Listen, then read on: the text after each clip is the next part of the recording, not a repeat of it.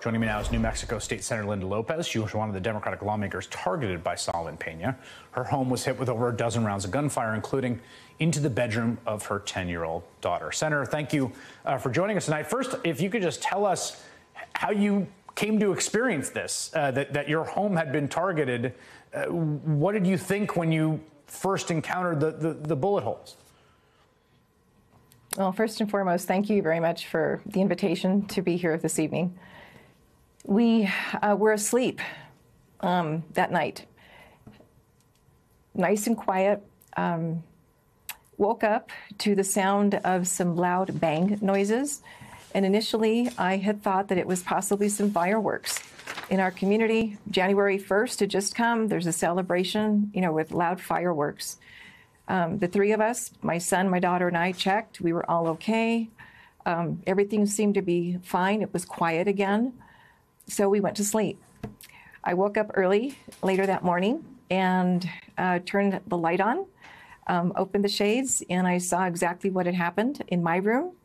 Um, and I saw, okay, walked over into my daughter's room, which is next to mine, and saw more bullet holes that were going through her room.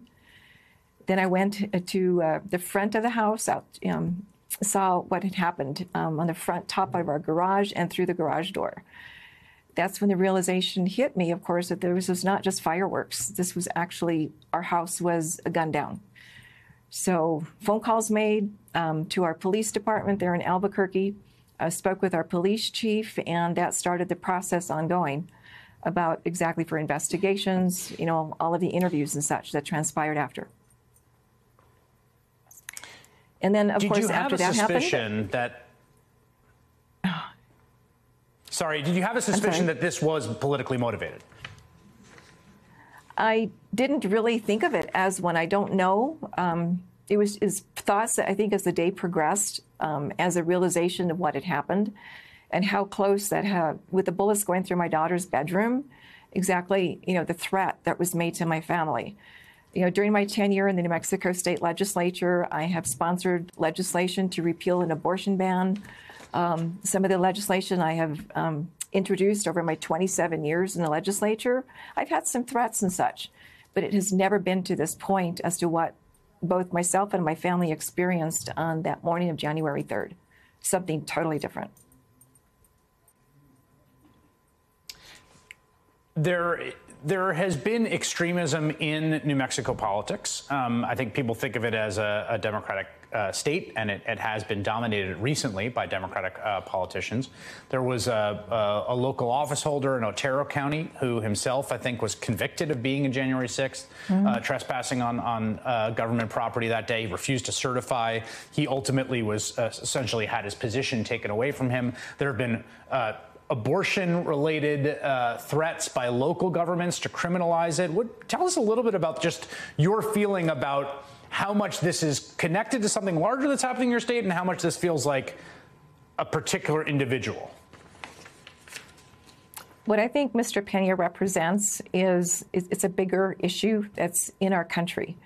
You know, with the insurrection that happened on January 6th, I mean, it was on his Twitter feed exactly, you know, showing off that he was there. Um, there's so much more of, of, threats that have been made to our Secretary of State here in New Mexico and other places across our country. You know, with Governor Whitmer, um, what was happening with her kidnapping. I think it, it's something that's much larger than just here in the state of New Mexico. Uh, the rhetoric has to stop. You know, with what happened with us in our in our in my home, it, it was it, it's disheartening, um, angry, very anger that I felt. And on occasion, it still riles me um, just to think about how close this could have had um, a serious injury to my family. But ultimately, what I think what it comes down to is that this country needs to really take a look at itself internally. The insurrection that happened, all of the other um, problems that are arising, the violence that is there, we have to look at ourselves and figure out what road are we going to take. And what this incident has actually brought me is to a whole different juncture as to what do we need to do here in my state of New Mexico? What conversations do we need to have? How do we work with the other side of the aisle, but even amongst ourselves in community in figuring out what is it that's acceptable? Violence is not acceptable. Um, the democracy that I've participated in during my tenure again here in the New Mexico State Legislature is part of what we are. This is what our country is based on.